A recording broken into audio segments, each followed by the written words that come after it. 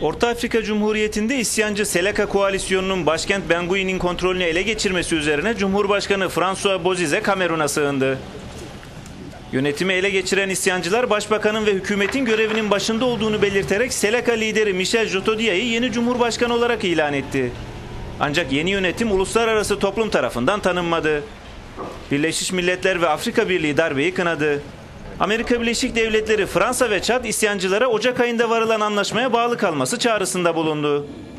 Kamerun'a sığınan Cumhurbaşkanı Bozize 2003 yılında Çad'ın desteklediği bir askeri darbeyle yönetime gelmişti.